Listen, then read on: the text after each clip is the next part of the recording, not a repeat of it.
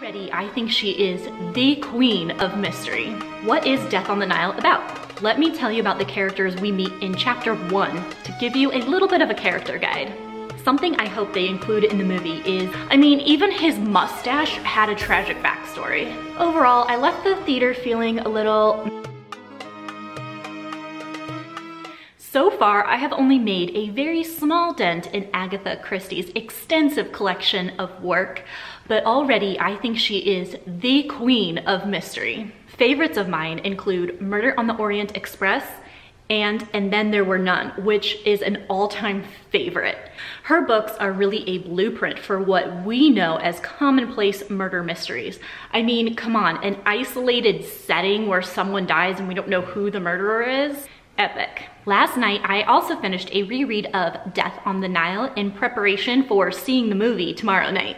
We all know that the book is always better than the movie, but I love to compare them and really find comparisons and things that the movie did well and things that it missed out on in the book. Reading the book and then criticizing why the movie isn't better than the book is one of my favorite pastimes.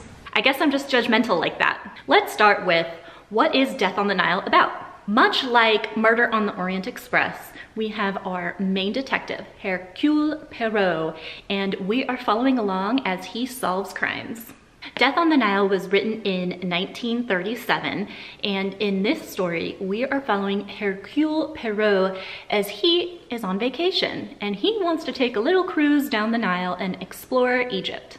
What appealed to me initially about this story is I love travel and if there's travel in a book to a new place, I love it. I love visualizing all the adventures and the sights. So that is something that definitely appealed to me in this book and it does not disappoint. We also have another isolated setting, which I think is one of Christie's specialties because our characters are on a boat on the Nile. And surprise, surprise, there's a death says right there, I'm not spoiling anything. There's a murder and we have to decide of the people on the boat who did it. One thing to note in Agatha Christie's writing style, especially in these three books, is that she throws a lot of characters at you at one time. And this can be chaotic and confusing and hard to keep track of, but it really does its job because firstly, you're wondering who is gonna be the victim, who's gonna get murdered, and then it gives you a huge cast to choose from for the murderer. So it can be a little bit to get used to at first. This is one reason why I don't like to read her novels on audiobook.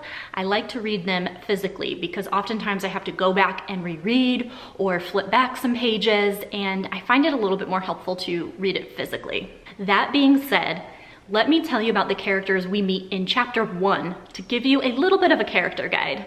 Firstly, we have Lynette Ridgeway. She is about 20 years old. She is young, she is stunningly beautiful, and she is richer than Midas.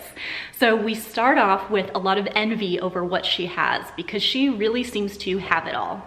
Next, we have her friend Joanna Southwood, who also I think is pretty rich, but she doesn't seem to have such a kind nature as Lynette. Uh, she's quick to say that if any of her friends face misfortunes, she will dump them right away because she doesn't want to deal with that. Then we have Lord Windlesham, who is in love with Lynette. He wants to marry her, and Lynette is considering marrying him. Jacqueline or Jackie Belafort, or maybe I need to work on my French pronunciation. Bella, Bellafleur? Bella, Bella, Bellafleur? Fleur. But anyways, we have Jackie and she was childhood friends with Lynette. She is not as rich, but she doesn't envy her friend for having everything that she doesn't. And we meet Jackie when she is telling Lynette all about this love that she found and she said she will just simply die without him. They are engaged and plan to get married. And that love's name is Simon Doyle. We also are introduced to him in chapter one. We also have Tim Allerton, who is the second cousin of Joanne, and they're friends. They are two peas in a pod. It seems like they really like society gossip, and this makes his mother, Mrs. Allerton, actually very jealous. It's kind of creepy, the mother-dearest relationship they have. Uh, but she loves her son. He is her favorite companion. She just doesn't understand why he likes Joanna too much. Then we have the young lady, Cornelia Robson, who hasn't had the most opportunity in the world, but when her Aunt Marie, also called Mrs. Van Schuler, offers to take her to Europe on a cruise down the Nile, she is thrilled. Accompanying them is Miss Bowers, who is the companion to Miss Van Schuler. Then we have Andrew Pennington, who is the American trustee to Lynette, and he finds out that she got married, which I think is a big deal probably for like who is gonna be her next in line to inherit her fortune. Uh, so he's really concerned and decides to book a trip to, the, to Egypt on the same ship as her. We find out roughly around this point that Lynette got married, but not to the man that she was considering before. She actually married Simon Doyle. Drama, right? All in chapter one, homegirl goes and steals her best friend's man. That's a big deal. We also meet Mrs. Otterbarn, Otterbourne, Otterbourne, and her daughter, Rosalie. Of course, chapter one, we also see Hercule Poirot, who is our quirky and incredibly confident detective. He is world renowned. He's very famous for what he does. So we know some stuff is about to go down because all these characters planning their trip down the Nile can't be coincidence, right? Those are just some of the characters and I found those in chapter one, but we also have Mr. Ferguson, Mr. Fanthorp, Colonel Race. There's a bunch of others that come into play throughout the course of the story. So you get what I mean, that she kind of hits you with a lot of characters at once. And what I love about this one is all in chapter one, there's a lot of plot set up for us. You know that Lynette stole her best friend's man and her friend probably is not too happy about this. I have some pretty high expectations for the movie. Previous Hercule Poirot movies have been pretty great. And for this one, I really want to see the visualization of their trip. I want to see the magic of Egypt. I'm expecting a over-the-top luxury liner that they're sailing on down the Nile. Um, I really want to feel like I'm transported into another world, and I think the movie will do a great job of that. Also, with how many characters we have, I think the movie is pretty promising because you can put a face to the name and that will really help keep everyone straight. So I think the movie is gonna be pretty strong in that category as well. Something I hope they include in the movie is in chapter four, Poirot is talking to Lynette and he's kind of giving her a smackdown for just being a horrible person and stealing her best friend's man. He talks about you know there was a moment in time where you had a decision to make and you chose evil pretty much. And i like how he didn't just swoon all over her like everyone else because she's rich and beautiful and charming. He really just told her she's a horrible person for doing this. There's also a quote when Poirot is talking to Jackie and she is distraught because she lost the love of her life, right? And he says something like, love is not everything. We just think it is when we are young. I hope they include that line in the movie. I'm prepared for the movie to make some cuts from the book. Usually they have to do that for time constraints and also just what translates to the screen. I expect they might cut a good portion of the plot. I'm expecting a lot of the clues that are in the book that Poirot picks up on are going to be eliminated. I also wonder if some of the characters are going to be eliminated as well, some of the more supporting characters. And without spoiling anything, I'll just say I'm wondering if the extent of the crime will be mirrored in the movie as it is portrayed in the book. So I'm just gonna leave it at that because I don't wanna spoil anything. I think they'll do a good job. They did a good job with Murder on the Orient Express. So I think it'll be a good representation. I'm so excited to see it going on a double date tomorrow night to check it out. And I think it's gonna be a lot of fun and I get to be a snobby critic that gets to judge every aspect of it. Is the book really better than the movie in this case? I'll let you know. All right, I am back and let's talk about this movie. Before we get started on this cinematic adventure though, please drop a comment down below with the ship emoji if you're still watching, and add a couple words if you like murder mysteries.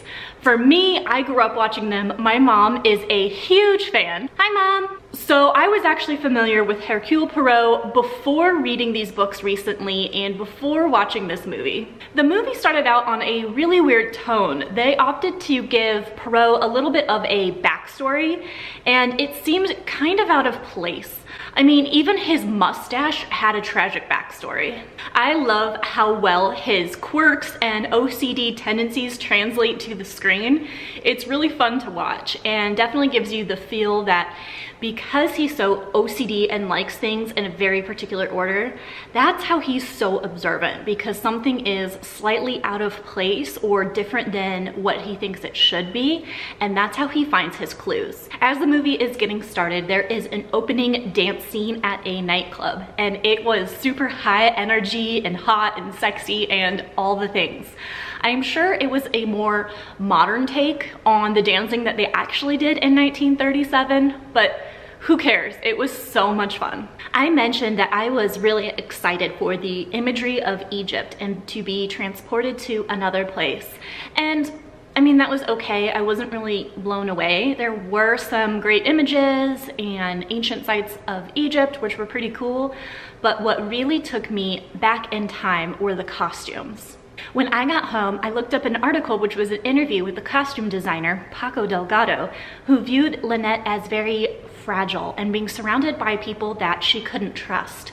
So Paco decided to dress Lynette in very transparent, flimsy, light, flowy fabrics to kind of represent that fragility and how Lynette didn't have the armor to face all these things that surrounded her. When it comes to Jackie, who is driven by love and revenge, this passion was represented by her constantly being in the color red. I particularly liked how Poirot was dressed and I wish this fashion would come back around for men because it is so dapper and elegant and I love it. In the beginning, he, along with the rest of the cast, are on vacation. So they are often dressed in all white. There's this scene where he's at the pyramids and he's wearing this all white suit and a hat and it's just my favorite. It looks incredible. But the whole cast is dressed in lighter colors in the beginning because it's breezy, they're on vacation, it's hot, they're relaxed. But as these darker themes start taking over, they transition to wearing darker colors. And I thought that was really interesting. What we really need to talk about though is that necklace. Of course, I'm referring to the 128 carat, $30 million Tiffany's diamond. This was previously worn by Audrey Hepburn when she was promoting Breakfast at Tiffany's, and this was on loan from Tiffany's for this movie. And if you forget that this is a Tiffany's necklace, don't worry, they'll remind you. I was disappointed to see that a lot of the dialogue I was hoping that would be in the movie was not. But I did get a lot of practice with accents and definitely feel motivated to get back to studying my French because um, Hercule Poirot was a little difficult to understand sometimes, so I need to work on that. I was definitely right in my predictions that there would be cuts to the characters, but I think I actually like the liberties they took with these characters. Firstly, Cornelia and Miss Bowers were combined into one character, so I liked that. It's just one face that you need to recognize and one name. They also combined the Doctor and Lord Windlesham into one character, and it was played by Russell Brand, who was completely unrecognizable in this dramatic role. He did a fantastic job. I normally think he's like a goofball playing really weird off the wall characters, but he is a really good actor. He did great. Rosalie Otterbourne was a niece, not a daughter. She was her aunt's business manager. She was super intelligent and I really enjoyed her character. Her aunt, Mrs. Otterbourne, instead of being a novelist, she was a blues singer. And this added an element of music to the movie, which obviously you're not gonna get that same kind of vibe in a book because you can't hear it, but having this music in the movie was an incredible touch. I really enjoyed it. I love Poirot's style to kind of accuse everyone of murder because it makes you feel like anybody is a possibility of being the murderer. It makes it super engaging. The movie did make some slight changes to the plot, which were okay. I kind of don't have an opinion one way or the other on it. It made it fun because it was different from the book. I didn't always know precisely what was gonna happen because of these small changes. Overall, I was very happy to see that the movie stayed very true to the book in terms of the plot around the murder mystery, so I was very pleased with that. Overall, I left the theater feeling a little melancholy, which I suppose is not a surprise after watching a movie about murder, but I attribute this to the whole backstory they gave Poirot, and it was kind of tragic and sad, and so there wasn't really a happy ending. Which again, not surprising, it's about murder. not everybody makes it out of the movie that went into it. But the book didn't have that same tone. The book was a little bit more hopeful, I guess. Maybe a little bit cutesy, a little. But the movie had a completely different tone due to that backstory. Um, I just I felt a little sad. I do think the movie did a very good job representing the book. It was true to the actual murder mystery plot. They made some slight changes to the characters in combining them and giving them a little bit more depth and substance, I suppose. So I really liked that aspect and then there's less characters to, to remember. Um, I did not like the tragic backstory that they gave Poirot. I thought that was unnecessary and seemed just kind of like out of place and weird. Um, but the costumes were fantastic, great imagery. Watching it was very dazzling. The dance scene was high energy, so I enjoyed watching it. Hopefully this video motivated you to both read the book and watch the movie Death on the Nile. I think you won't regret it. I'm curious to hear your thoughts if you've seen it. Please leave a comment down below what you thought of the movie. Thanks so much for stopping by and I'll see you next time.